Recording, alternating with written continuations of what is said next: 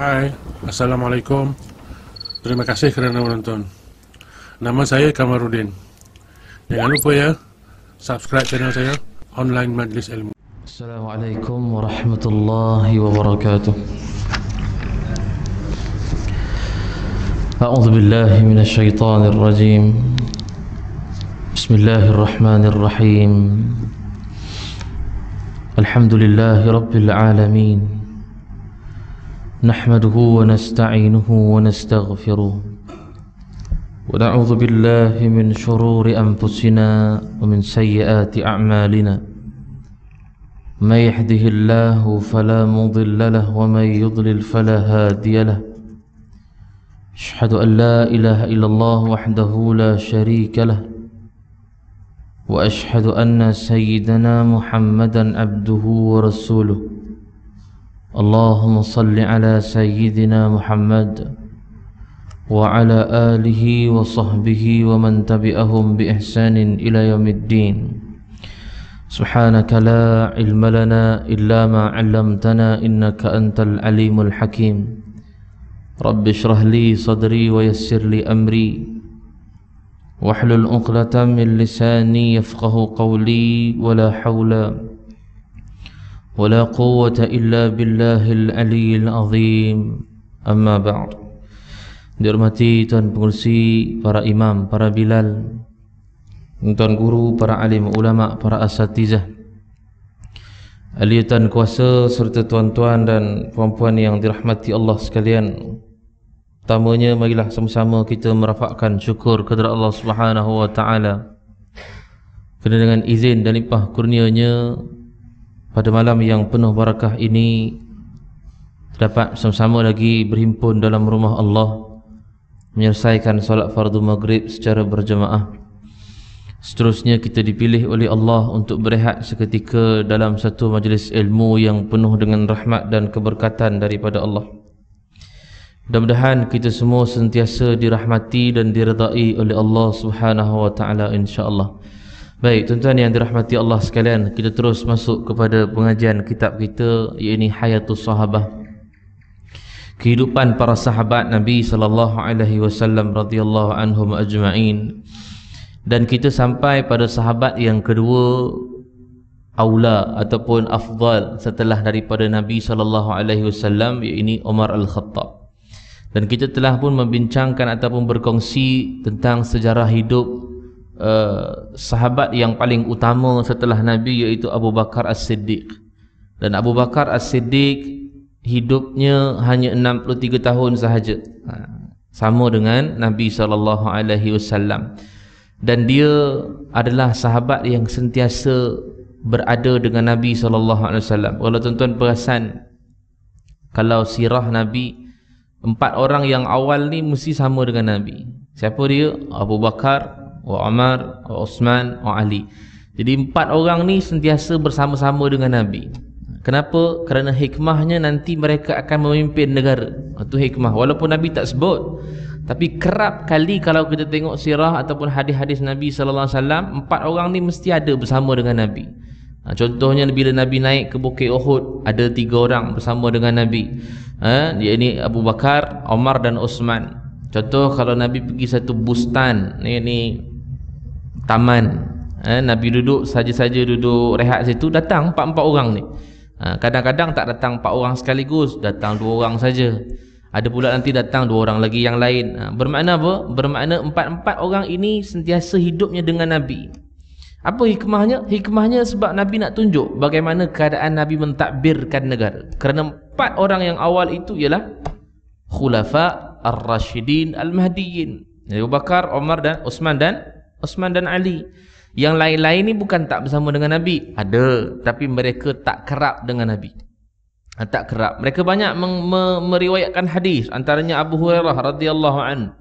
Abu Hurairah meriwayatkan hadis 5374 hadis. Banyak. Antara yang paling tertinggi ialah Abu Hurairah.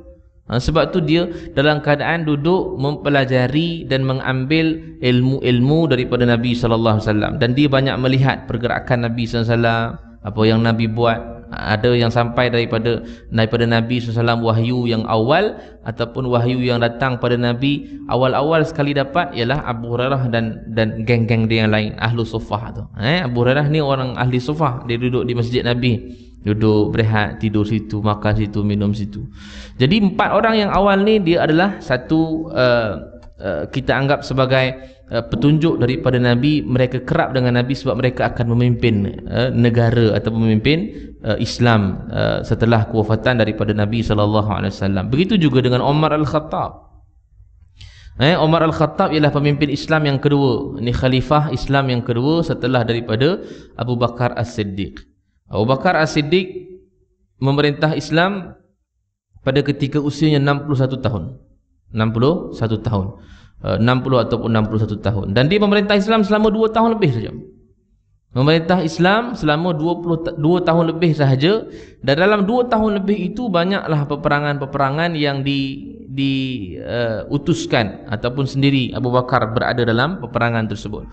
Jadi antara peperangan yang dahsyat yang banyak meragut uh, nyawa para sahabat yang menghafal Al-Quran iaitu dalam perang Al-Yamamah. Ini perang bersama dengan Musailimah Al-Kadzab. Jadi dalam keadaan begitu kita tahu bahawa seramai 700 para hufaz Al-Quran daripada kalangan sahabat syahid. Ha, di situlah mulanya Sayyidina Umar Al-Khattab memberikan cadangan pada Abu Bakar untuk menghimpunkan Al-Quran ha, daripada helaian-helaian kertasnya, daunnya, kulit-kulitnya untuk dihimpunkan dan disimpan. Sebab dikhawatiri setelah ini akan ada lagi peperangan yang lain juga akan meragut ramai lagi uh, para penghafaz Al-Quran daripada kalangan sahabat. Maka macam mana nak memelihara Al-Quran? Dan siapa yang akan menyampaikan Al-Quran nanti pada kalangan-kalangan uh, umat Islam yang kemudian? Jadi dihimpunkan Al-Quran itu sehinggalah Al-Quran itu disimpan oleh Uh, Abu Bakar As-Siddiq sehinggalah kewafatan Abu Bakar As-Siddiq. Dan hujung-hujung kewafatan Abu Bakar Abu Bakar telah pun menuliskan satu surat wasiat iaitu surat di mana perlantikan jawatan khalifah yang kedua setelah dia ialah Umar Umar Al-Khattab. Pada awalnya memang ada sebahagian sahabat yang tidak bersetuju dengan perlatikan Umar. Eh, sebab apa? Sebab Umar ni dia garang. Eh, jadi tak apa nak gemar lah. Tapi bila Umar memerintah Islam selama 10 tahun lebih, baru nampak kehebatan ataupun baru nampaklah uh, kehebatan Abu Umar Al-Khattab dalam memerintah Islam. Itu memang takdir Allah Subhanahu wa uh, Subhanahu wa taala. Baik. Kita nak cerita tentang Umar Al-Khattab bukan bermula daripada zaman pemerintahan dia. Kita nak mula bagaimana kehidupan zaman jahiliah dia. Ataupun kita tak banyak sangatlah cerita pada zaman jahiliah sikit saja apa yang disebutkan oleh pengarang kita dalam kitab ini sebab zaman jahiliah zaman jahiliah Omar tidak ditonjolkan sangat. Ya, sebab sebab ketika itu tak ternama sangat Omar ni tak uh, sebab belum masuk Islam kan? Dah masuk Islam, dah menentang Islam baru nampak gambaran dia. Oh ni gini gini gini sampailah dia masuk dalam Islam. Masuk dalam Islam lagi bertambah naik nama dia. Nama dia jadi lagi yang tertinggi ataupun nama dia menjadi satu uh, satu percakapan uh, masyarakat pada ketika itu. Zaman jahiliah pun telah menjadi satu percakapan juga Umar Al-Khattab. So bila mana Umar Al-Khattab disebut nama saja Umar orang orang takut. Orang jadi oh, Umar, ah ha, dia jadi gitu. Macam kita lah, kita kalau sebut siapa? ha? Sebut Ustaz, Firdaus jadi takut kan? Atau sebut apa-apa sajalah. Nama-nama yang boleh polis contohnya kan? Ha, sebut polis. Polis kita eh, kalau kita buat salah kita takutlah kan? Kalau tak buat salah relax saja. Ha, jadi dalam keadaan kita sebut nama seseorang itu maka kita akan rasa ke kegoncangan hati itu bila kita sebut nama nama Omar ni bila zaman itulah zaman jahiliah maupun setelah zaman setelah zaman jahiliah kata pengarang kitab kita inilah laki-laki yang dijulukkan dengan nama Al-Faruq yakni pembeza antara hak dan batil. Itu nama gelaran dia Al-Fa Al-Faruq. Umar Al-Khattab Al-Faruq. Abu Bakar As-Siddiq dia ada tiga gelaran. Abu Bakar As-Siddiq dia ada tiga gelaran. Satu gelaran yang dibagi oleh Nabi, oleh Nabi ialah Atiq. Atiq makna uh, terlepas daripada azab neraka. Itu panggil Atiq. Yang kedua, Nabi bagi. Ada juga riwayat mengatakan Jibril yang bagi. Setelah peristiwa Isra' dan Mi'raj, iaitu As-Siddiq. Ha, ini masyur lah. Eh? Abu Bakar As-Siddiq masyur lah. Dan Abu Bakar sendiri pun bukan nama dia, Abu Bakar tu. Ha, bukan nama Abu Bakar. Nama dia Abdul Rahman. Tetapi kenapa Abu Bakar? Sebab dia adalah orang yang cepat. Bakar ni mana cepat? Segera, segera. Mubakiran, mana cepat? Dia segera. Apa saja yang dibuat oleh Nabi, apa saja yang disampaikan oleh Nabi, cepat je yang dia buat. Cepat je yang dia dia dia setuju dengan Nabi SAW. Apa saja tu panggil Abu Bakar. Bapak segala cepat. Ha, kita panggil kan? Bapak segala segala cepat. Itu tiga gelaran yang diberikan oleh Nabi SAW kepada Abu Bakar. Tapi Umar Al-Khattab ada gelaran satu yang diberikan ialah Al-Faruq. Iaitu pembeza antara hak dan matil. Dia kata hak-hak lah. Dia kata benar-benar lah. Dia kata salah-salah lah. Kata Nabi, Aqwakum fi dinillahi Umar. Orang yang paling kuat dalam agama Allah, orang yang paling syadid, yang paling keras, ha, yang paling tegas dalam agama Allah ialah Umar. Umar dia tak boleh. Kalau tengok benda tu salah, dia memang takkan buat. Dia tengok orang tu kurang hajar je, dia akan belasah terus. Ha, pernah banyak peristiwa kan? Peristiwa-peristiwa yang yang Umar ni walaupun budak kecil pun dia nak bancongnya. Siapa dia? Uh, satu peristiwa dipanggil Safwan, uh, sorry. Um, Siapa budak kecil yang yang yang dianggap sebagai uh, dajjal tu? Yahudi kan? Golongan Yahudi yang menganggap budak kecil itu ialah uh, dajjal ataupun mereka anggap sebagai nabi mereka lah. Orang Yahudi menganggap mereka sebagai nabi sebab matanya satu buta. Dan dia boleh mentafsirkan akan datang apa akan berlaku budak kecil ni. Ia nama dia Ibnu Sayyad. Ha, ingat. Ibnu Sayyad. Zaman Nabi lah. Zaman Nabi ni bila Ibnu Sayyad ni diceritakan oleh para sahabat yang lain pada ketika itu Ibnu Sayyad ni Dajjal, Ibnu Sayyad ni Dajjal itu daripada kalangan orang Islam. Daripada kalangan orang Yahudi mereka menganggap Ibnu Sayyad ni adalah Dajjal. Bila Nabi dengar banyak cerita dah Nabi kata jom kita bangun kita pergi jumpa mereka. Jumpa Ibnu Sayyad. Ibnu Sayyad ni kecil je, hulam budak kecil. Bila dah cerita-cerita-cerita, pendekkan cerita Nabi kata dia ni uh, syaitan telah main-mainkan dia. Tapi sebab dia ada kurang hajar dengan Nabi tadi. Ha, Nabi kata apa? Nabi kata wahai ya Sa'd. Ya Sa'd ni Sa'd ni nama manja dia. Dia kata mengaku tak engkau? Bersaksi tak engkau aku ni adalah pesuruh Allah? Dia kata aku bersaksi wahai Abul Qasim bahawa engkau adalah pesuruh Allah. Ibnu Sayyab sebut pada Rasulullah balik. Dia kata wahai Abul Qasim, bersaksi tak pula engkau bahawa aku ni pesuruh Allah? Ha, itu yang buat Umar marah tu. Ha, itu yang buat Omar marah. Omar kata sebelum dia balik, Ya Rasulullah, boleh tak aku pancung dia dulu? Omar ni budak kecil pun dia jalan. Sebab dia Al-Faruq. Dia hak batil. Pembeza antara hak dan batil. Kurang ajar je, mesti kena. Abdullah bin Ubay pun pernah kena. Abdullah bin Ubay, Abdullah bin Ubay orang Islam kan? Tapi dia munafik. Bila Nabi sampai dengan dengan sahabat, sampai ke kelompok Abdullah bin Ubay ni tengah duduk-duduk, Nabi sampai dengan keldai dia. Bila sampai Abdullah bin Ubay tutup hidung dia kata ya Rasulullah ilaika anni. Pergi jauh sikit ya Rasulullah busuklah bau keldai kau ni. Ha, dia dia jadi kurang hajar dengan Nabi. Jadi bila jadi kurang hajar dengan Nabi ni Umar dia keluarkan pedang ya Rasulullah boleh tak aku pancung dia? Ha, Umar Umar kerja dia mancung je. Kan? Sebab empat-empat watak dalam uh, khulafa ar-rasyidin beza kan Umar dia tegas. Abu Bakar dia lain sikit. Osman dia lagi relax relax. Tapi bukan masuk relax dia tak buat kerja. Relax dia buat kerja. Tapi sifatnya adalah sifatnya relax. Ali lain pula. Dia beza-beza watak-watak ni. Tapi yang paling tegas antara empat-empat orang ni ialah Umar Rasulullah kata wahai Umar jangan jangan jangan jangan jangan bunuh dia. Sebab apa jangan bunuh? Sebab tu Rasulullah cerdik tak? kalaulah Nabi bagi Umar bunuh Abdullah bin Ubay maka nanti orang yang di luar orang kufar orang Yahudi orang-orang yang musyrik mereka akan sebut tengok Muhammad sendiri bunuh kawan dia. Ha, dia akan jadi fitnah dekat situ. Nabi cerdik. Nabi tak bagi bunuh Abdullah bin Ubay. Walaupun Nabi tahu dia adalah orang munafik. Walaupun Nabi tahu dia banyak buat perkara-perkara yang merosakkan Islam. Bagi fitnah, huru-harakan Islam. Bawa lari 300 tentera Uhud. Nabi tahu. Tapi Nabi, Nabi relax. Nabi kata jangan. Kalau kau bunuh dia, nanti orang luar akan kata aku yang suruh bunuh. Nanti orang katakan akan kata Muhammad pembunuh kawan dia. Takkanlah macam mana kita nak masuk Islam. Susah. Seburuk-buruk dia pun dalam keadaan begitu Nabi boleh maafkan dia lagi. Abdullah anak dia, Abdullah bin Ubay, dia ada anak nama dia Abdullah juga. Abdullah bin Abdullah bin Ubay. Abdullah anak dia ni Islam, benar-benar pure orang beriman. Memang ikut Nabi, itu sahabat Nabi. Kata Abdullah anak dia ni, dia kata ya Rasulullah, kalau betul kau nak suruh bunuh bapa aku, jangan bagi orang lain bunuh, biar aku yang bunuh. Oh, beriman sungguh. Eh? Kan? Ha, kalau kita mesti tahan. Tapi sebab dia tengok bapak dia pun orang munafik. Orang yang tak mau ikut nabi pura-pura saja kan? Jadi orang yang beriman anak dia ni dia beriman. Dia tahu bapak dia salah. Dia kata kepada Rasulullah dia kata Rasulullah kalau betul kau nak suruh bunuh bapak aku jangan suruh orang lain. Sebab nanti aku jadi benci pada dia. Biar aku yang bunuh. Aku sendiri puas hati. Tapi nabi tak bagi. Eh, nabi tak Nabi tak bagi. Nabi kata biarkan saja. Eh, biar dia hidup dengan kehidupan dia eh, pandai-pandailah. Allah turunkan surah Al-Munafiqun juga untuk untuk dia. Dahsyatlah eh, Abdullah bin Ubay ini dan gelaran Al-Faruq itu diberikan kepada kepada Umar Al-Khattab. Seorang sahabat yang apabila disebutkan namanya di dalam majlis-majlis menjadi baik majlis itu mana rahmat Allah turun. Bukan sebab dia ni dalam keadaan yang uh, kita pegang sebagai uh, panggil apa eh uh, tahyul macam itulah bukan bukan. Tapi sebab ketakwaan dia tu uh, ketakwaan dia kita kalau ada orang yang alim pun kita sebut nama dia pun kita jadi tenang kan? Kita seronok. Itu zaman kita zaman sahabat.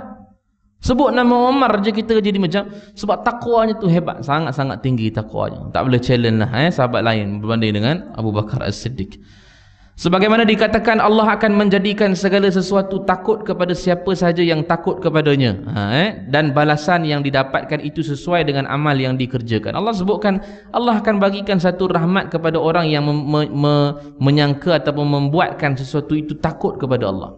Orang tu takut kepada Allah. Tapi sebab dia takut kepada orang tu juga menyebabkan rahmat tu turun. Sebab dia takut kepada Allah subhanahu ta'ala. Dia berkaitlah. Eh? Dia berkait-kait. Dia pernah pengsan tak kala mendengar bacaan Al-Quran. Tuan-tuan, ni belum start cerita eh. Pengarang kitab ni dia hanya menceritakan uh, dia punya kepribadian sikit. Sebelum dia start cerita zaman jahiliah dia dulu sebelum tu, dia nak ceritakan dia punya watak dia ni. Eh, macam mana cerita dia dulu sebelum-sebelum ni, sama ada dia masuk Islam ataupun setelah masuk Islam. Dan kebanyakan diceritakan oleh pengarang kitab ini dah masuk Islam. Kan? Pasal apa? Dia pernah pernah terdengar bacaan Al-Quran, dia terus pengsan. Dengar bacaan Al-Quran, pengsan. Pasal apa pengsan? Ah, bukan sebab tak makan tengah hari ke bukan eh? Kita tak makan tengah hari pengsan. Tapi dia teng, dia mak, dia dengar Quran pengsan sebab takut dengan ayat Quran. Bukan takut dengan ayat Quran. Dengan apa yang disebutkan oleh Allah dalam Al-Quran. Azab eh, dengan dengan dengan nerakanya eh? Dengan uh, kiamatnya dan seumpamanya. Sebab terlalu takut dengan dengan apa yang disebutkan oleh Allah dalam Al-Quran akhirnya dia pengsan. Di kalangan para sahabat kebanyakan mereka banyak yang begini. Banyak yang begini. Abu Bakar As-Siddiq setiap kali semayang diriwayatkan oleh Aisyah radhiyallahu anha setiap kali dia semayang dia akan sentiasa menangis. Setiap kali semayang semayang apa pun mesti menangis. Om Abu Bakar As-Siddiq. Eh bapa kepada Aisyah radhiyallahu anha. Ada sahabat-sahabat yang lain bila dia membaca ayat-ayat Quran semayang contohnya. Ada yang menangis ada yang pengsan Antara kisah yang masyur disebutkan dalam kitab Muqasyabatul Qulub antaranya Imam Al-Ghazali rahimahullah taala dan dalam kitab yang lain disebutkan ada seorang sahabat yang eh, dia tak buat salah tapi dia anggap bahawa benda tu salah. Benda tu tak salah pun. Panjanglah ceritanya kalau kita cerita. Tapi bila dipanggil balik oleh Nabi SAW untuk balik ke masjid. Balik ke masjid untuk bertemu dengan Nabi. Sebab dia dah lama lagi dah dengan dengan Nabi ni. Sebab takut. Nabi SAW akan seksa dia. Padahal dia tak buat salah pun. Bila sampai ke dalam masjid, Nabi tengah semayang, Nabi baca surah At-Takathur. Nabi baca surah At-Takathur, Bismillahirrahmanirrahim. Alhaqumut takathur. Jadi dia tiba-tiba tertarik nafas satu. Tertarik. Sebab dia terkejut dengar ayat tu. Bukan terkena pada dia. Ayat tu mungkin terkena pada dia, maka dia tarik nafas. Dia macam terkejut. Wih, kena kat aku ni kan? Telah melalaikan harta-harta yang ada dalam dunia ni. At-takasur ni maknanya sifat ingin banyak bab dunia ya. Duniawi ni lah. Eh? Sifat ingin banyak bab duniawi ni. Jadi dia nakkan kebanyakan benda tu supaya dia boleh dapat dapat dapat. Jadi sahabat ni dia terdengar macam tu dia takut. Dia terdengar ayat tu dia takut benda tu kena pada dia. Padahal Rasulullah bukan cerita pasal dia. Tapi nak baca ayat tu kan? Bila dia baca eh, alhaqumut takasur dia tarik nafas dilepaskan nafas Nabi baca balik hatta zurtumul maqabir sehingga engkau masuk ke dalam kubur baru engkau tersedar benda tu. Yang mana engkau telah lalai dalam dunia dia tarik nafas kali kedua lepas mati terus. Tuan-tuan, dahsyat sahabat-sahabat ni. Sebab mereka apa? Mereka benar-benar menghayati apa yang disebutkan oleh Allah Subhanahu Wa Taala dalam Al-Quran. Kalam Allah, dia benar-benar hayati. Kita takasur berapa kali imam baca? Pengsan pun Berapa kali dengar dah atas kasur ni kan. Ha, siap hafal lagi atas kasur. Tapi tak ada langsung perasaan. Ha, jadi sahabat-sahabat ni semuanya mereka uh, menghayati sungguh uh, ayat-ayat Al-Quran yang yang diturunkan oleh Allah Taala. Sama dengan Umar Al-Khattab. Dia pernah pengsan bila mana dia membacakan ayat-ayat Al-Quran kerana takutnya kerana takutnya uh, dengan janji-janji Allah Subhanahu Wa Taala. Sehinggalah sahabat ni pergi ke rumah Sayyidina Umar Al-Khattab setelah dia pengsan. Maka dia bangun menangis dia ni tak berhenti. Tak berhenti nangis. Sebab takut dengan janji Allah.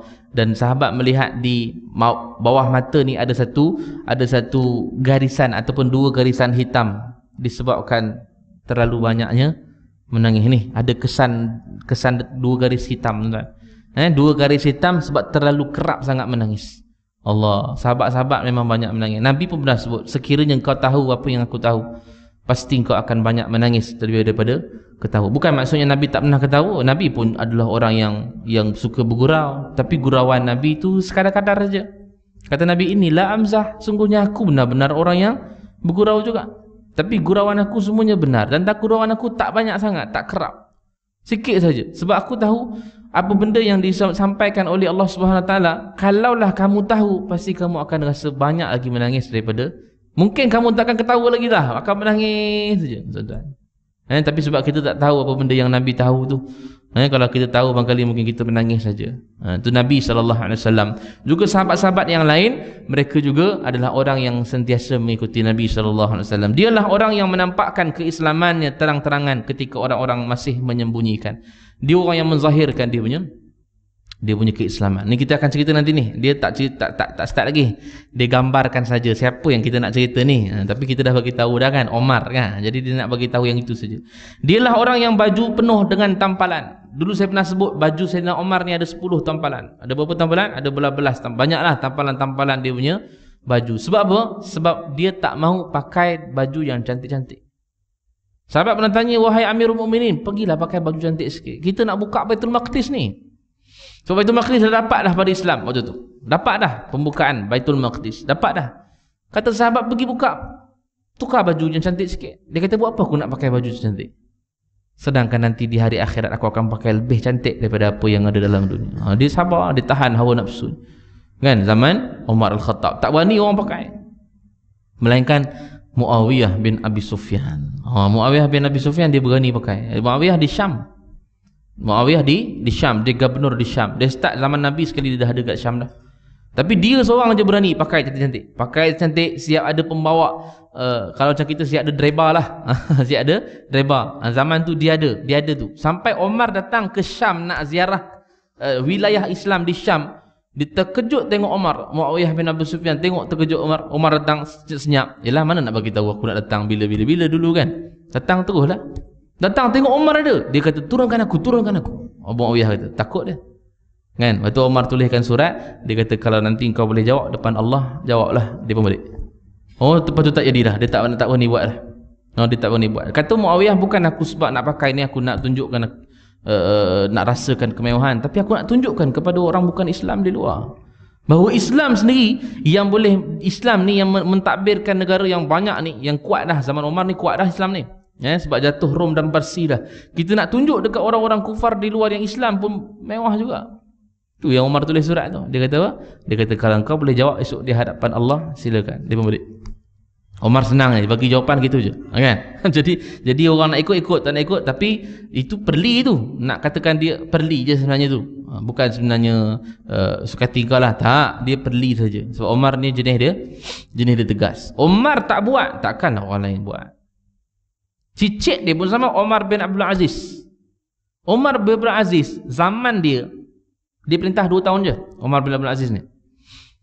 2 tahun lebih tu dia perintah satu harta daripada zakat seorang pun tak tak berani ambil. Bukan tak berani ambil sebab takut. Sebab dia nak ambil tengok eh khalifah pun miskin. Takkanlah kita nak pergi ambil Kan? Mana zaman Omar bin Abdul Aziz ni, orang tak berani nak ambil duit zakat ni pasal apa? Sebab kesian. Kalau aku ambil, aku lebih lagi pada uh, pemerintah ni. Aku lebih lagi daripada khalifah. Baik aku tak ambil. Zaman dia tak ada orang ambil zakat langsung. Dua tahun Omar bin Abdul Aziz memerintah Islam. Omar bin Abdul Aziz ni cicit Rasul, cicit Omar Al-Khattab lah. Kan? Cicit Omar Al-Khattab. Nanti kita akan lalu nanti tengok cicit, cucu cicit dia. Dialah orang yang jika menempuh satu jalan, maka syaitan pun akan menempuh jalan yang lain. Syaitan tak berani nak tempuh jalan tu. Kalau Omar lalu jalan tu. Kan? Omar lalu satu jalan, syaitan tak berani ikut belakang tu. Jalan satu, syaitan tak berani ikut. Takut. Pada Omar tak ada dah. Tapi dia tak berani. Bukan tak berani sebab dia garang ke tidak. Tapi sebab dia takwa. Takwanya terlalu tinggi menyebabkan syaitan tak berani dekat langsung. Tak berani dekat. Kita pun tuan-tuan kalau kita punya takwa tu adalah takwa yang tinggi kepada Allah Subhanahu Wa Taala maka kita akan dijauhkan daripada gangguan syaitan. Itu je sebenarnya. Kan? Itu je sebenarnya yang kita punya point mengapa kita kerap sangat diganggu mengapa kita kerap sangat dihasut ataupun kita kerap sangat melakukan dosa dan maksiat sebab takwa tu menyebabkan kita punya uh, kunci tu tak tak dibuka dengan habis. Takwa tu kalau betul-betul tinggi, maka syaitan tak berani dekat dengan kita. Dalilnya inilah yang disebutkan oleh Nabi SAW. Omar lalu satu lorong, satu jalan, syaitan tak berani dekat dengan dia. Dialah orang yang selalu berpegang kepada Al-Quran sekaligus penjuang Muslim di jalan Allah Subhanahu Wa Taala. Ini adalah Omar Al-Khattab. Dia adalah Faruq Al-Faruq, yang umat ini. Amirul Mukminin yang mampu menggoncangkan singgah sana orang-orang eh, orang-orang yang zalim serta melunturkan meluluh lantakkan benteng-benteng para Kisra dan Kaisar. Zaman dia jatuh Rom dan Persia ini memang janji Nabi lah. Nabi memang menjanjikan bahawa Rom dan Persia juga akan nanti dijatuhkan. Eh, cuma bila eh, zaman Nabi tak jatuh lagi zaman Abu Bakar pun tak jatuh lagi. Eh, zaman Omar Al-Khattab jatuh yang ini. Sehingga jatuhnya Parsi sehingga ada yang tak suka kepada Omar Al-Khattab sebab jatuhnya Parsi tu yang dia dibunuh tu. Abu Lu'lu'ah Al-Majusi. Dia orang yang Majusi kan sembah api dia tak puas hati dengan Umar eh, sebab dia jatuhkan Parsi. Musnah Parsi ni habis terus terus habis. Sebab raja dia pernah koyak kan surat daripada Nabi dulu kan surat yang Nabi hantar tu pada setiap negeri-negeri yang luar-luar ni raja dia pernah koyak dan runyukkan surat tu. Bawa balik. Jumpa Nabi Nabi kata Allah satu hari nanti Allah akan koyakkan juga negerinya begini juga. Hancur luluh habis Persin. Eh, perang nama perang Al-Qadisiyah. Perang Al-Qadisiyah. Itu cerita tu panjang. Nanti insyaAllah kalau ada di sini kita akan lalu cerita tu sikit-sikit ada yang sahabat Nabi di dalam tu namanya An-Nu'man Ibn uh, uh, Al-Muqarrin dia yang ketua kepada perang Al-Qadisiyah Ah, satu dan dua yang menyebabkan musnah hanya ke semua ke semua uh, Parsi ni yang pengikut-pengikut Parsi ni. Raja-raja yang diktator dan sombong pun tunduk di bawah kekuasaannya. Semua. Zaman Umar Al-Khattab semua tunduk pada uh, pada Islam pada ketika itu dia menundukkan keangkuhan Romawi Rom dan menghancurkan kesombongan Persia serta mengusir orang-orang yang dimurkai Allah yakni kaum Yahudi dari jazirah Arab mengusir mereka dalam keadaan hina. Ha, jadi dia adalah orang yang sentiasa zuhud, ahli ibadah, ha, yang besar cemburunya, tak boleh tengok orang beribadah lebih sikit dia mesti nak lebih juga. Ha, itu maknanya fastabiqul khairat lah, belum berlumba. Belum berlumba mengejar ha, kebaikan, tengok orang tu buat. Sebab dia tengok Abu Bakar buat baik, sedekahkan infakkan harta banyak dia pun nak infakkan harta banyak. Dia ingat lebih lagi pada Umar uh, dia ingatkan lebih lagi pada Abu Bakar. Abu Bakar habis semua dia bagi. Uh, Umar ada lagi separuh macam tu. Kan pernah zaman Nabi kan? Zaman Nabi pernah diperintahkan untuk menginfakkan harta sebab nak perang ni. Jadi sahabat-sahabat pun infakkan harta infakkan harta. Umar dia bawa banyak harta dia pergi pada Nabi fi sabilillah. Maka kata Nabi SAW wahai Umar apa yang kamu tinggalkan untuk isteri dan anak-anak dia kata aku tinggal lagi sebegini juga. Macam ni juga untuk isteri dan anak-anak aku. Mana pun separuh lah dia bagi kan. Dia rasa macam oh banyak dah ni. Ha, maknanya aku dah banyak dah infakkan ni. Tiba-tiba datang Abu Bakar. Bawa, bawa banyak lagi kata Abu Bakar kata Rasulullah wahai Abu Bakar apa kamu tinggalkan untuk isteri dan anak-anak? Dia kata aku tinggalkan Allah dan Rasulnya saja. Itu saja. Lain tak ada dah. Mana habis semua harta. Ha, kan? Jadi hebatlah orang-orang yang disebutkan sahabat-sahabat Nabi ini sebab mereka berlumba-lumba untuk me membuat kebaikan dan kebajikan. Kita bolehlah lumba-lumba tengok orang bagi RM10, kita bagi RM10 10%. Ha, tambah 10% tak apa. janji okey. Janji lebih sikit pada dia. Untuk bagi 100, kita pun bagi RM100. Ha, boleh, tak ada masalah. Belum berlumba tuan-tuan. Asal jangan belagak, sombong saja tak sudah. Eh, belum berlumba begitu tidak menjadi masalah. Dialah tokoh yang besar hidup dalam kesederhanaan. Saya sebut tadi dah. Omar ni dia boleh dia boleh hidup dalam keadaan yang mewah tapi dia tak mau. Eh, sebab apa? Dia tahu dalam keadaan hidup sederhana itu pun dah okey dah. Sebab dia nak hidup esok di dalam syurga dalam keadaan yang sangat kaya dan mewah. Ah, dalam syurga lagi dahsyat lah kuat dalam menegakkan keadilan dan menebarkan kasih sayang. Dialah laki-laki yang dilahirkan di tanah Arab. Uh, Omar Al-Khattab ni dia lahir di sana lah di tanah Arab. Dia daripada keturunan Bani Adi. Dia daripada keturunan Bani Bani Adi. Abu Bakar saya sebut dulu Abu Bakar Bani Tamim Omar Al-Khattab Bani Adi Osman Bani Umayyah Ali Bani Bani Hashim. Ha, dia sama dengan Nabi sallallahu alaihi wasallam. Dia seorang ahli ibadah yang bersifat wara. Eh? Amal salehnya memancarkan gerakan kecerdasan, harapan dan kemajuan. Ini dia punya uh, sifat kepribadian Umar uh, Al-Khattab. Hmm? Dialah yang memberikan manusia keteladanan yang tidak akan usang. Umar Al-Khattab ni dia banyak tunjukkan contoh-contoh yang baik. Umar Al-Khattab biasa dalam pemerintahan dia dia banyak keluar pergi tengok rakyat-rakyatnya. Tapi sebenarnya bukan dia yang mulakan. Yang mulakan ialah Abu Bakar. Abu Bakar dulu mulakan. Ha, sebab dalam dalam riwayat dia menyebutkan bahawa pernah satu hari Umar Al-Khattab keluar pada zaman Abu Bakar nak bagi makan pada uh, orang yang susah. Dia kata dah ada orang bagi dah. Tanya siapa?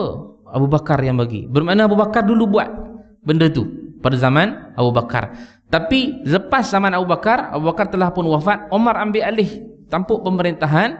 Umar buat benda yang sama. Setiap malam dia akan berjalan keluar tengok orang yang susah. Tengok orang yang susah. Sampai dia tolong orang yang susah tu. Dia kata kal disebutkan kalaulah ada orang yang susah dia takkan boleh tidur. Sebab dia bimbang akan disoal oleh Allah. Pernah satu hari dia lalu satu rumah ada seorang budak menangis eh, yang ni masyur ini cerita ni sangat masyur kan dia tengok budak tu tengah menangis tengok mak dia sedang masak masak ada budak nangis dalam rumah tu, mak dia sedang masak. Lepas tu dia pun tanya, wahai ibu, mengapa kamu biarkan anak kamu menangis? Ibu ni tak tahu yang itu ialah Omar. Sebab dulu bukan ada terpampang gambar, tak ada lagi.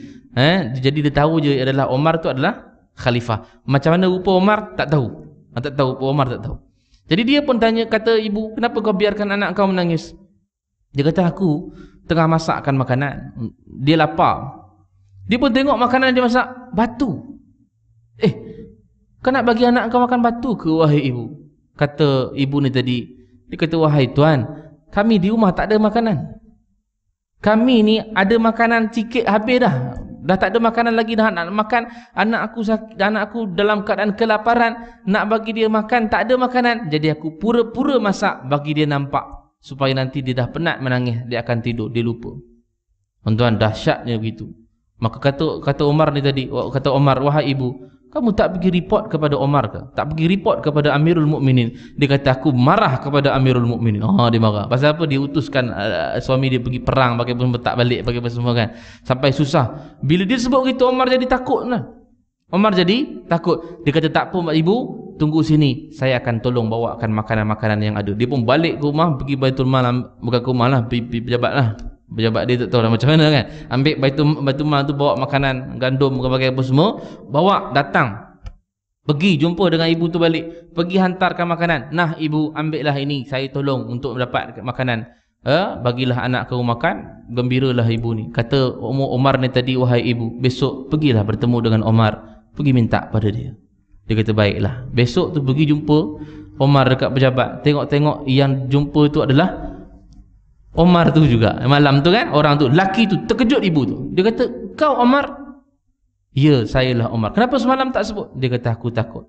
Dia kata ibu ni kata wahai wahai Omar wahai Amirul Mukminin aku minta maaf minta ampun kerana aku tak tahu bahawa engkau adalah Omar. Omar kata apa? Omar kata wahai ibu tidak mengapa asalkan kau tolong doakan untuk aku supaya ampunkan dosa-dosa aku terhadap rakyat ni tadi ni yang susah ni tadi. Yang aku tak tahu. Sampai tahap begitu tuan ha, sampai tahap begitu kita kalau jadi pimpin orang mengkutuk itu kena dah. Kan? Tapi Omar orang kutuk dia dia boleh dia boleh relax lagi. Sebab dia takut besok di hadapan Allah tak mampu nak jawab. Tak mampu nak jawab. Sebab apa tak mampu jawab? Ada rakyat yang susah kau tak tolong.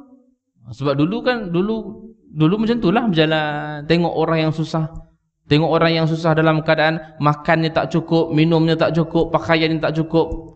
Umar ni pula jenis yang adil. Sampai tahap begitu akhirnya dalam keadaan begitu Umar minta supaya ibu ni tolong ampunkan ataupun tolong mohon kepada Allah supaya ampunkan dosa aku terhadap rakyat yang dalam keadaan susah ni. Sebab aku tak mampu nak berikan kesemuanya sampai tahap begitu tuan eh, Umar Al-Khattab. Adilnya Umar Al-Khattab bila mana ada satu bahagian diberikan kepada seluruh rakyatnya. Saya tengok kain kot. Dia bagi kain sedikit untuk rakyat-rakyatnya sama rata. Semua sama. Semua dapat benda yang sama. Tiba-tiba dapat berita bahawa anaknya Abdullah bin Umar dapat lebih sikit daripada rakyat yang lain. Mulalah orang bercerita bercerita bercerita bercerita. Kenapa orang lain dapat sikit anak dia dapat banyak? Ha, akhirnya Umar pun keluarkan statement. Dia kata bukan aku bagi bukan uh, aku ni tidak adil. Tetapi Abdullah bin Umar diambil bahagian aku. Aku tak mau kata dia. Ha, itu dalam keadaan keadilan uh, Umar Al-Khattab di dalam memerintah memerintah Islam. Dialah yang memberikan manusia keteladanan yang baik yang tidak ada usang tidak akan usang. Pancaran keteladanan dari seorang pemimpin umat Islam berupa harta rampasan perang dan segala perhiasan dunia dipang, dipanggulnya. Kemudian semua itu disalurkan secara baik seluruhnya dibahagikan secara mulia untuk orang yang banyak. Harta rampasan semua dia bagi ke sama rata. Tak ada yang tak ada yang berat sebelah anak dia ke tak anak dia ke tak peduli. Dia pun pernah pesan kalau dia mati besok jangan bagi jawatan pada anak aku. Jangan. Dia tak bagi kan ha, tapi bila start yang bagi anak Muawiyah bin Abi Sufyan ini uh, zaman kerajaan Bani Bani Umayyah. Start daripada situ, dia dah tak kira dah siapa-siapa yang layak ke, yang pastinya lepas aku mati, anak aku sambung. Lepas anak aku mati, cucu aku sambung. Ha, start zaman Muawiyah bin Abi Sufyan. Tapi zaman sahabat empat orang ni, dia tidak tidak diberikan kepada anak-anak lagi. Kemudian, Terkadang dia membungkuk, membungkukkan diri di depan panci ini sekadar memasak makanan lazat untuk perempuan yang sakit ketika sedang melahirkan. Maka dia tolong rakyatnya dalam keadaan yang dalam keadaan yang sakit dia masak, eh dia bagi makanan. Ini yang ini lagi. Yang ini kalau kita tengok secara logik, yang ini takkan tak lepas di hadapan Allah. Lepaslah ni. Kan? Confirm lepaslah kalau kita fikir logik lah. Takkan tak lepas dah siap turun padang tengok ah, orang yang susah. Dalam keadaan begitu, tapi dia merasakan bahawa dia tu tak Ha ni kata orang tawaduk ni. Ni kata orang yang rendah diri, rendah hati, dia tak merasakan diri dia, mulia pun. Abu Bakar bila mana diperintah ataupun dia dibai'ah oleh sahabat-sahabat dan rakyat untuk menjadi khalifah, dia berdiri di atas mimbar dia menyebutkan walaupun aku dipilih di, di antara kalian untuk menjadi khalifah, bukan bermakna aku adalah orang yang terbaik daripada kalian. Ni orang tawaduk. Kan? Ha, sebab dia dapat jadi jawatan khalifah tu kan. Dia merasakan bahawa dia tidak dia tidak hebat. Kalau kita dipilih, akulah orang yang hebat lebih daripada korang semua. Di kita, kita zaman kita terbalik sikit. Jadi dialah orang yang pendapat dan perkataannya sesuai dengan beberapa ayat Al-Quran yang diturunkan oleh Allah kepada Nabi Nabinya sallallahu alaihi wasallam. Dia Umar Al-Khattab ni, dia ada satu kelebihan tuan-tuan. Abu Bakar kelebihan dia lain eh. Abu Bakar kelebihan dia apa? Banyaklah kelebihan Umar ni. Um, uh, Abu Bakar ni. So Abu Bakar ni dia sentiasa dengan Nabi. Berhijrah pun dengan Nabi. Kan? Dan cerita dia dalam Al-Quran banyak. Antaranya tentang surah Al-Lail. Infakkan harta. Membebaskan Bilal. Ini Abu Bakar. Dalam surah At-Taubah pun ada cerita Nabi dengan Abu Bakar. Dia kelebihan dia lain. Tapi Umar kelebihan dia lain pula. Apa kelebihan dia? Kelebihan dia bila Nabi bagi pandangan. Bukan wahyu eh. Pandangan. Tetapi pandangan Omar kepada Nabi ni berbeza. Eh, rasanya Rasulullah yang tu tak apa sesuai Rasulullah. Saya rasa lebih baik begini Rasulullah. Begini, begitu, begini, begitu. Rasulullah maintain lah. Tak adalah dia bantah. Besok, eh, besok ke kemudian ke, turun ayat membenarkan, turun wahyu membenarkan pendapat Omar. Ada empat ataupun lima. Lalu kita akan lalu nanti. Sikit-sikit kita akan lalu. Apa ayat-ayat yang turun. Eh, yang pandangannya bertepatan dengan wahyu.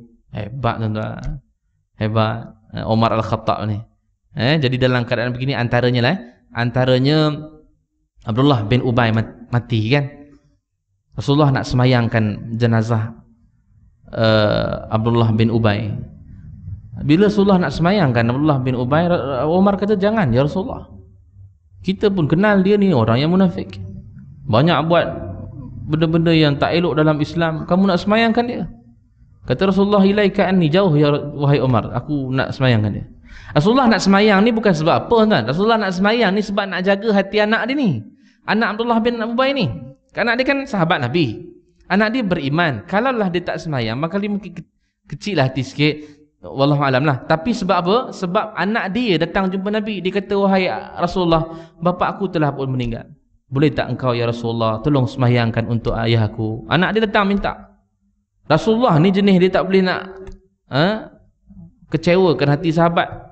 Kan tak boleh nak guriskan hati sahabat. Rasulullah pergi jugalah buat jugalah. Sembahyang habis sembahyang turun surah at-taubah. Ayat ke-84 kata Allah jangan kamu lepas ni sembahyang ke atas orang-orang yang munafik. Dan jangan berdiri pun di atas kuburan. Lepas daripada tu Nabi tak sembahyang lagi dah. Tapi tu zaman Nabi je lah eh.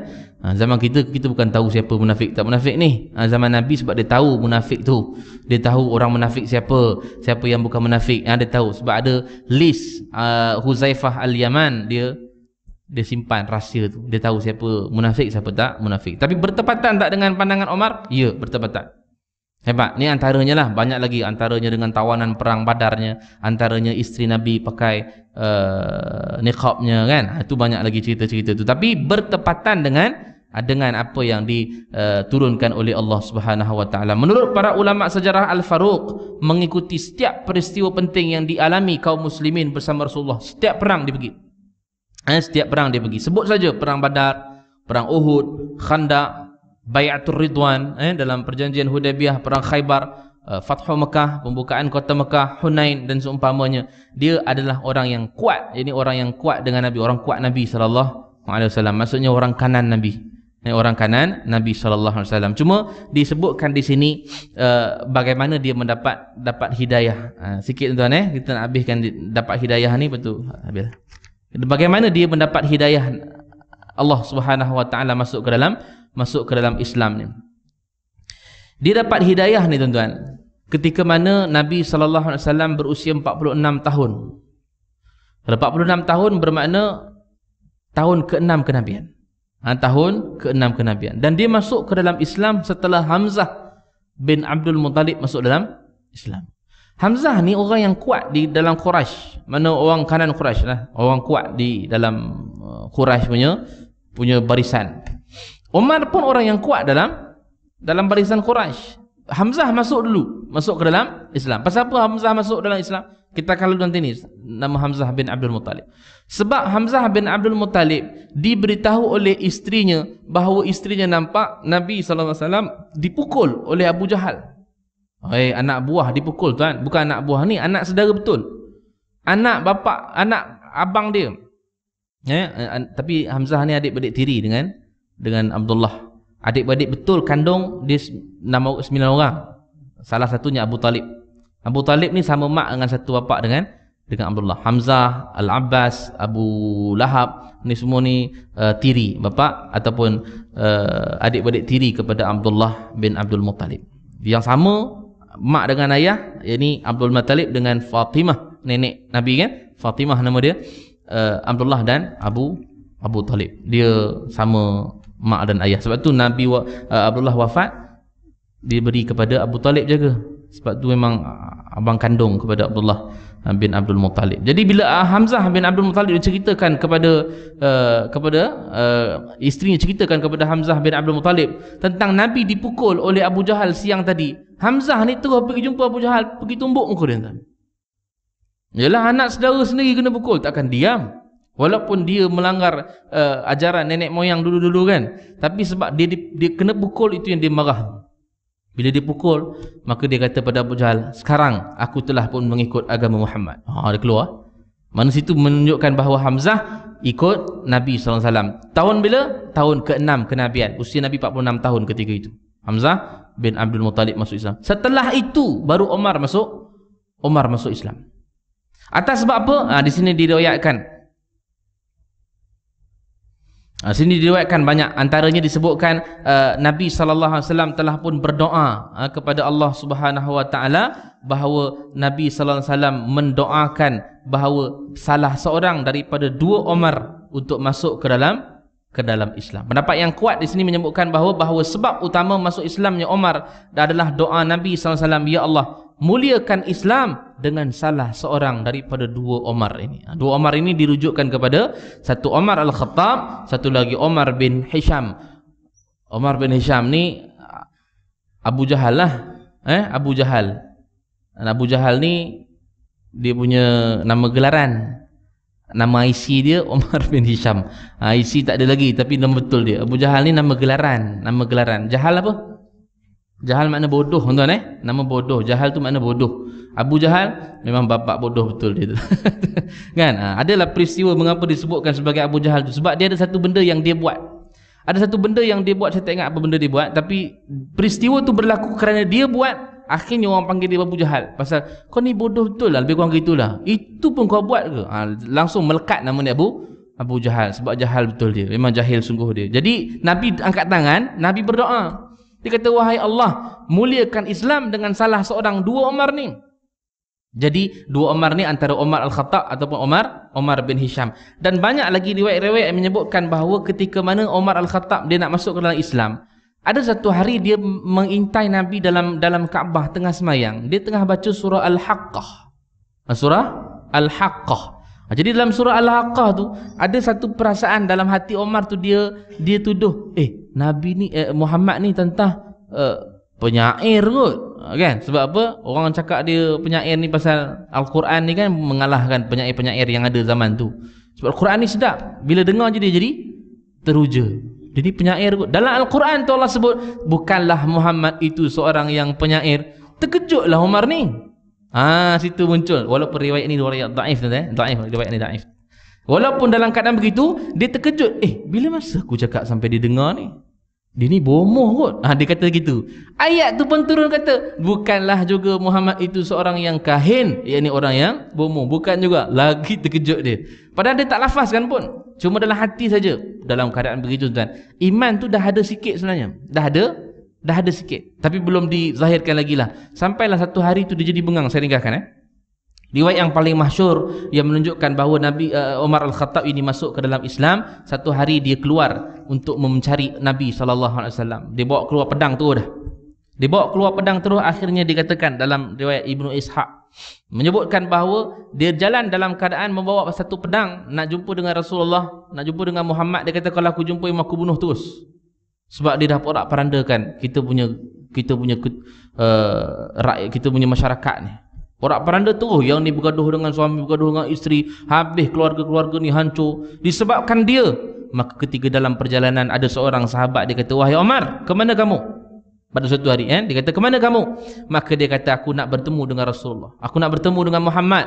Aku nak bunuh dia. Kata dia bila mana dalam keadaan begitu pergilah bertemu dulu dengan dengan adik kamu yakni Fatimah Al-Khattab. Ah, bukan Fatimah Az-Zahra eh. Fatimah Az-Zahra ni anak anak Nabi. Fatimah Al-Khattab yakni adik kepada Umar Al-Khattab. Fatimah Al-Khattab dia berkahwin dengan uh, uh, Zaid ibn Said uh, Said ibn Zaid. Said ibn Zaid ni adalah orang yang ke-10 yang dijamin syurga oleh Nabi. Tuan tengok balik eh. Al-Asharul Mubashirin Nabil Jannah, 10 orang yang diberi jaminan syurga oleh Nabi, yang ke-10 tu ialah Said ibn ibn Zaid. Dia dia adalah suami kepada suami kepada Fatimah Al-Khattab. Jadi bila mana dikatakan uh, pergi temu dengan adik kamu dulu. Adik kamu ni telah mengikut Muhammad terlebih dahulu patutnya kau serang adik kau tu dulu sebab keluarga sendiri ikut jadi terkejutlah Umar ni terkejutlah Umar sebab dia tak tahu pun Fatimah ni adik dia ni dah masuk dah masuk Islam dah ikut dia jadi dia patah balik patah balik sehinggalah pergi rumah Fatimah Al-Khattab ni bila mana nak masuk ke dalam rumah dia dengar surah ada orang baca ada orang mengaji dekat dekat dalam tu dalam tu ada siapa dalam tu ada Sa'id ibn Zaid dalam tu ada Fatimah Al-Khattab ini adik adik dia dan juga Khabbab. Khabbab ni eh, sahabat Nabi lah. Dia muallim. Dia mengajarkan Al-Quran di rumah rumah Fatimah. Dia, dia ngajar Al-Quran. Bila mana dengar Omar ketuk pintu tak? Bila mana dengar Omar ketuk pintu. Tak kejutlah Khabbab ni. Jadi Khabbab pun sembunyi di bawah di bawah meja lah. Kita kata bawah meja lah supaya tak dapat Omar tak dapat cari dia kan. Dia pun nyuruh masuk rumah Fatimah. Dia terus tampar je Fatimah ni. Kan? Sebab dia kata dia ikut dia ikut kepada Muhammad sallallahu alaihi wasallam. Dia kata apa yang kau baca tadi aku dengar tadi? Apa yang kau baca tadi aku dengar tadi? Maka bila dah sampai tahap begitu dia pun nak ambil helaian kertas daripada Fatimah ni Fatimah kata kamu ni kotor wahai abangku kotor ni maksudnya kamu ni bukan Islam patut tak boleh pegang gitu kan maka dia pun anggap bahawa dia tu kotor dia pergi mandi lah kejap Maka dia batah balik, dia ambil surah ataupun dia ambil kertas layan daripada Fatimah dan dibaca ayat Taha dalam surah dalam surah Taha. Taha ma anzalna alaikal qur'ana litashqa. Dia baca tu dalam keadaan hatinya dia kata, indahnya ayat ni. Oh dia baru terdengar baru, baru baca ayat tu. Indah ayat tu jadi, ya Allah seronoknya. Sampailah ayat ke-14 innani anallah la ilaha illa ana fa'budni kata Allah. Dia kata wahai eh, dia kata tiada tuhan melainkan aku, sembahlah aku kata Allah dalam ayat ke-14 tu. Dalam tak sadar Omar telah pun meng mengalirkan air mata. Maka kata Omar Al-Khattab, wahai Fatimah, tunjukkan aku di mana Muhammad. Aku nak masuk Islam, aku nak ikut dia. Dan bila mana Omar sebut begitu, khabab yang sembunyi tadi itu keluar dia kata. Dia kata, wahai Omar, mai aku tunjukkan. Dia ada di satu rumah, di sebelah bukit Safa, iaitu rumah Al-Arqam bin Abi Al-Arqam. Dia pun bawa, bawa. Dia tak takut lah, dia tak takut dengan Omar lah. Omar kan dia jenis garang kan. Jadi dia pun pergi, pergi rumah Al-Arqam bin Abi Al-Arqam, lebih kurang 40 orang ada di situ. 40 orang. Antara yang ada dalam tu ialah Hamzah bin Abdul Muttalib. Dia pun ketuk pintu. Dia kata, Ya Muhammad, dengarlah bunyi suara Omar kat luar tu. Terkejut semua dalam dalam rumah Al-Arqam ni. Eh, dia kata itu Omar. Hamzah kata tak buka pintu. Buka aja. Kalau dia datang untuk memerangi kita, kita perang dia. Tapi kalau dia datang dalam keadaan aman, kita baik-baik dengan dia. Dia buka pintu, terus jalan depan Nabi sallallahu alaihi wasallam. Biasanya kalau tuan-tuan pergi di Mekah di Babu Salam sana nanti, biasa Mutaif akan ceritakan kisah ni di situ. Rumah tu tak ada lah, tapi di atas pintu tu dia tulis uh, bab Al-Arqam, pintu Al-Arqam. Bin Abi Al-Arqam. Itulah rumah Al-Arqam, situlah penyaksiannya. Bila mana dia duduk di hadapan Rasulullah, dia mengucap syahadah asyhadu alla ilaha illallah wa anna uh, Muhammad Rasulullah wa annaka Muhammad Rasulullah. Dan aku bersaksi bahawa engkau wahai Muhammad ialah pesuruh Allah. Semua bertakbir tuan. Semua ber semua bertakbir. Seronok kerana telah masuk kedua-dua orang kanan Quraisy pada ketika itu yakni Hamzah bin Abdul Muttalib dan juga uh, Omar Al-Khattab yang dulunya orang yang kuat dalam Quraisy masuk ke dalam Islam. Dan kata Abdullah bin Mas'ud ketika mana Islam dalam keadaan goyang ketika mana Islam belum dimasuki oleh Omar Al-Khattab kami tak berani nak semayang di depan Kaabah tapi setelah masuknya Omar Al-Khattab setelah masuknya Hamzah bin Abdul Muttalib tak ada orang berani mengganggu kami lagi di di depan Kaabah untuk kami solat itu antara yang disebutkan oleh Abdullah bin Mas'ud ketika mana setelah Omar Al-Khattab masuk ke dalam masuk ke dalam Islam Allahu Akbar hebat tuan Eh, Omar Al-Khattab adalah seorang sahabat yang sangat hebat. Maka kita akan lihat nanti pada kuliah akan datang bagaimana peristiwa hijrahnya Omar Al-Khattab ke Madinah. Sebab Omar dia pergi dulu. Ha, dia pergi dulu setelah sebelum daripada Nabi sallallahu alaihi wasallam. Cuma hebatnya Omar ni dia war-warkan penghijrahannya itu. Ha, dia war-warkan penghijrahannya nak pergi ke Madinah. Eh, aku nak ke Madinah kata dia. Siapa yang nak halang aku? Silalah kalau nak lihat istrinya jadi janda, anaknya jadi yatim betul dia. Betul eh? Ha, berapa orang yang halang dia? Insya-Allah kita akan bincang pada kuliah akan datang. Saya ingat tuan-tuan semua dah tahu dah, tak payah cerita pun tak apalah eh. Bagaimana dia pergi terus. Tak ada orang pun berani halang dia sebab hebatnya Omar Omar Al-Khattab. Di situ ada satu satu satu satu benda tersirat yang Allah nak cuba sampaikan. Eh, apa dia? Sebab kalau kita fikir, baik Nabi pilih Omar untuk pergi berhijrah. Betul kan? Siapa yang nak kacau kalau dia dengan Omar? Tapi Allah tak buat begitu. Allah buat Nabi pergi dengan Abu Bakar, Omar pergi sendiri. Sebab apa? Di sini ada tersirat uh, uh, satu benda yang tersirat yang Allah nak sampaikan kepada kita. Uh, InsyaAllah kita akan bincang pada kuliah akan datang. Apa yang tersiratnya itu insyaAllah. Kita jumpa lagi pada sebelah datang. Wallahu'alam. Aku qawli hadha wa astaghfirullahalazim wa walakum. Assalamualaikum warahmatullahi wabarakatuh. A'udhu billahi minasyaitanir rajim. Bismillahirrahmanirrahim. Alhamdulillahi rabbil alamin. Wassalatu wassalamu ala ashrafil anbiya il mursalin. Wa ala alihi wa sahbihi ajma'in. Ya Allah ya Rahman ya Rahim. Kami menadah tangan memohon kepadamu ya Allah. Ampunkanlah segala dosa kami, dosa kedua ibu bapa kami, dosa pasangan dan anak-anak kami, dosa kaum kerabat kami, dosa kaum muslimin dan muslimat sekalian ya Allah. Ya Allah matikan kami dengan mati baik. Jangan matikan kami dengan mati yang tidak baik. Kurniakan kematian buat kami dengan kalimah la ilaha illallah. Wa sallallahu ala sayyidina Muhammad wa ala alihi wa sahbihi. Walhamdulillahirabbil alamin. Taqabbalallahu minkum.